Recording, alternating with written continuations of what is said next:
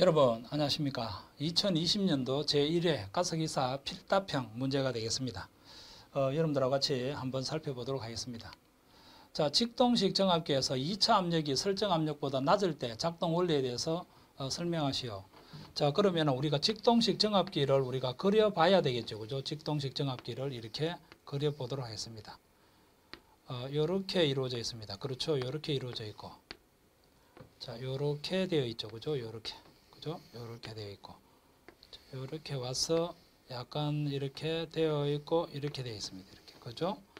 자 그러면은 에, 여기에 우리가 얇은 막이다라고 해서 이것을 우리가 다이아프렘이다라고 이야기를 합니다. 다이아프렘 맞죠? 다이아프렘이다라고 이야기를 하고 어, 여기에 우리가 결속을 할 수 있도록 이렇게 에, 배관 내부에 이와 같은 어, 형태로 딱 어, 뭐가 되어 있습니까? 이렇게 이렇게 막혀져 있죠. 이쪽 부분에서는. 자, 여기에서도 이렇게 막혀져 있습니다. 맞죠? 이렇게 막혀져 있고. 자, 그러면은 실질적으로 여기에 메인 밸브가 이렇게 장착이 되어 있습니다. 메인 밸브가. 그죠? 메인 밸브 이렇게 장착이 되어 있습니다. 맞죠? 자, 그러면은 메인 밸브가 완전히 닫혀 있는 모양 같은 경우 이렇게 되어 있으면 완전히 메인 밸브가 이렇게 닫혀 있는 모양이 되겠죠. 그래서 이 메인 밸브하고 diaphragm하고 이렇게 결속이 되어 있습니다. 메인 밸브하고 diaphragm하고 이렇게. 무슨 말인지 이해하시겠습니까? 그죠? 자, 그래서 가스가 왼쪽에서 들어와서 오른쪽으로 이렇게 가스가 흐른다라고 할 때, 그렇죠?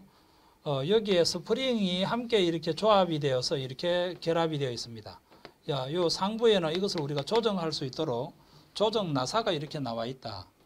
자, 이것을 우리가 1차측이다라고 해요. 가스가 왼쪽에서 들어와서 이것을 우리가 1차측이다라고 이야기를 할 수가 있겠고 가스가 이렇게 빠져나가는 것을 우리가 2차측이다라고 할 수가 있겠습니다. 2차측이다. 그러면 직동식 정압기에서 2차 압력이 설정 압력보다 낮을 때 2차측의 압력이 이렇게 낮게 되면 2차측의 압력이 낮게 되면 그러면은 여기에서 이 스프링이 스프링의 힘이다라고 볼 수가 있겠죠. 그죠?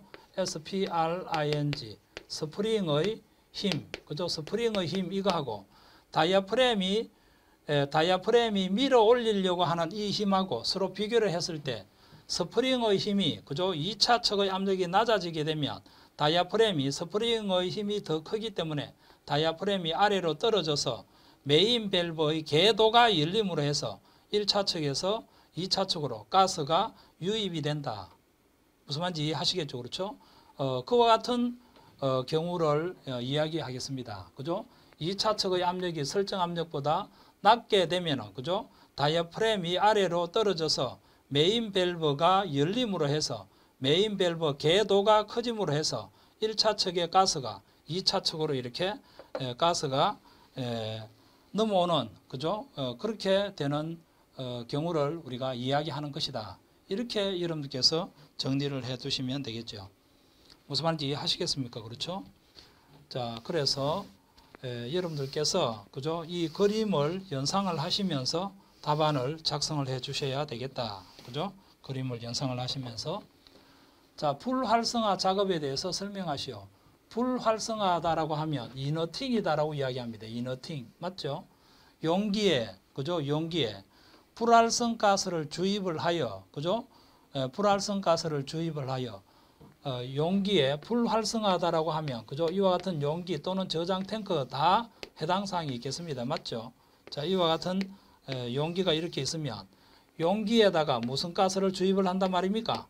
불활성 가스. 여기에서 불활성 가스라고 하면 우리가 영족 원소에 해당이 되는 가스 있죠. 그죠? 영족 원소에 해당이 되는 가스. 그다음 N2라고 하는 가스를 이렇게 주입을 해서 어, 용기 내부의 온도를 우리가 MOC라고 이야기합니다. MOC. MOC 농도 이하로 떨어뜨리는 어, 작업을 우리가 불활성하다.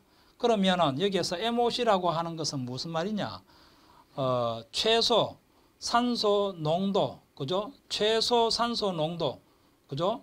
에, 용기 내부의 에, 산소의 농도를 MOC 이하로 떨어뜨려서, 그죠? MOC 이하로 떨어뜨려서 에, 가연성 가스가, 그죠? 폭발을 어, 하지 못하도록 만든 상태를 이것을 우리가 불활성하다라고 여러분께서 이해를 해 두시면 되겠습니다. 그죠? 가연성 혼합가스에 불활성 가스를 주입을 하여 산소 농도를 최소 산소 농도 MOC 이하로 낮추는 작업을 우리가 불활성화라고 이야기한다.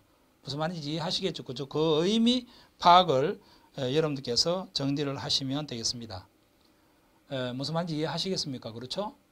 자, 불활성화 작업에 대해서 설명하시오. 그죠? 에, 가연성 혼합기. 자, 이 여기에서 우리가 가연성 가연성 혼합기다 이렇게 생각을 하시면 되겠죠. 그죠? 가연성 혼합기에서 그죠? 에, 불활성 가스를 주입을 하여 그죠? 요 내용을 어, 핵심 용어다라고 보시고 불활성 가스를 주입을 하여 요 내용도 핵심 용어다라고 생각하시고 그 다음 MOC 농도 이하로 떨어뜨리는 작업을 우리가 불활성화에 대한 개념이다. 그죠? 불활성화에 대한 개념이다. 이렇게 정리를 해 놓으시면 되겠습니다. 자, 요게 문제 2번에 대한 내용이 되겠습니다. 도시가스 공급 방식 중에서 그죠? 에, 공급 압력에 따른 종류 에, 우리가 저압으로 공급하는 경우가 있고 그죠? 중압으로 공급하는 경우가 있고 그 다음에 고압으로 공급하는 경우가 있다. 자, 이렇게 세 가지 방법이 있는데 저압이라고 하면 0.1메가파스칼 그죠? 미만으로 우리가 공급을 하는 방법을 우리가 저압이다라고 이야기를 하는 것이고 중압이다라고 하면 0.1메가파스칼 0.1메가파스칼 이상 이상 어, 1메가파스칼 그죠? 1메가파스칼 미만으로 우리가 공급을 하는 방법을 가리키는 것이다. 고압이라고 하면 그죠? 고압이라고 하면 1메가파스칼 그죠? 1메가파스칼 이상으로 에, 도시가스를 공급하는 형태를 의미하는 것이다. 그래서 에, 공급 압력에 따라서 구별을 할 때는 이와 같은 내용으로 여러분들께서 정리를 해 두시면 되겠습니다. 자, 전 양정이 25m, 그죠? 에, 유량이 1.2 세제곱미터 퍼 미인 펌프로 에, 우리가 물을 이송을 할 때 축 동력을 계산하시오. 자, 여기에서 우리가 PS라고 하면 우리가 어떻게 계산할 수 있는가? 75, 그죠? 75 에타분의, 그죠? 75 에타분의 어, 감마 HQ 이렇게 여러분들께서 생각을 하시면 되겠죠. 그렇죠? 자, 여기에서 여러분들께서 주의하셔야 할 점은 무엇을 주의를 해라고 했는가?